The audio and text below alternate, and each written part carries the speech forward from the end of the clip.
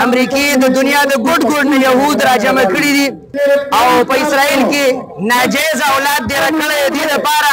چې دا دیو د بدمعشي اډو ګرځي تر مشرقه پورې د مشرق نه تر مغرب شمال نه تر جنوب پورې موږ جهاد کوو ان شاء الله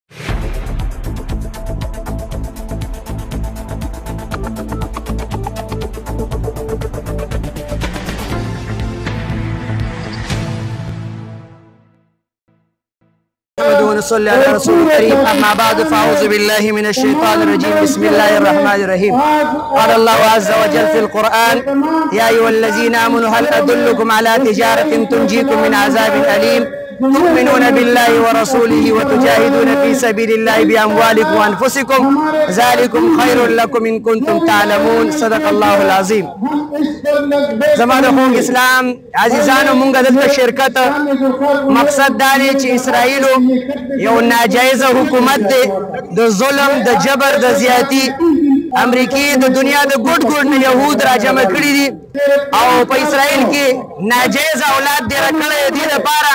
چې دا دیو د بدمعشي اړو ګرځي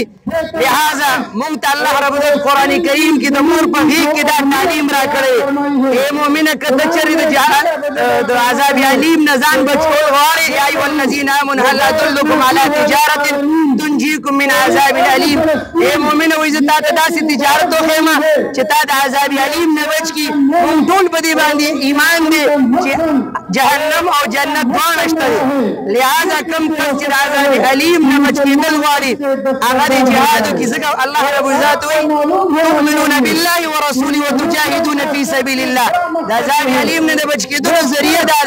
تاسو به جهاد د الله په لارې کوئ دنیا په ګډ ګډ کې چې په کوم ځای کې په مؤمنانو باندې ظلم کیږي زیاتې کیږي موږ تمام مسلمانان عرب دي او کاجن دي موږ به د مسلمان د مدد لپاره په پاکستان نه ونیسه تر مشرقه پورې د مشرق نه تر مغرب شمال نه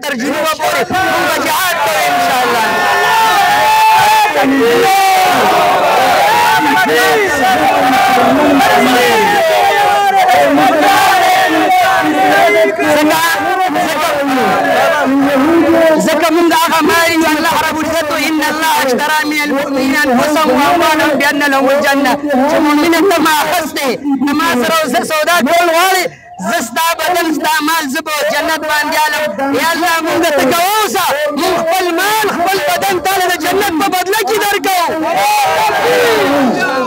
د دنیا د دنیا په ګډ ګډ کې چې کم ځای کې د مال ضرورت دی د جان ضرورت دی زمانو مولانا محمد طاهر دی چې په کم ځای کې زبر جهادم کو مال بمبر کوم ویره بم دغه لګو لهذا زموږ دا راغونډېدل زموږ راغونډېدل دلته هغه شپه باندې زه اعتکاف کې وم ما خپل مقتدیانو ته ویلي او ټولو مسلمانانو ته چې دا ویشتم شپه چې هغې ته بعضې علما یو قول موافق هي لیلة القدر چې هغه هي لفظ ویش الفاظ بس راځي چې دا د لیلة القدر شپه ده د لیلة القدر شپه دې د الله د کور عزت عزتي کړی دا عزت یې ولا پامال کړی د دنیا څومره مسلمانان چې دي موږ لا پکار دي چې په کوم ځای کې يهود وي دا غي مصنوعات وي دا غي بایکاټ وکړو دا غي د عزت پامالي چې کوم دی الجهاد د دوی مختصره لار شارټ کټ لار جنت ته د تګ هغه جهاد دی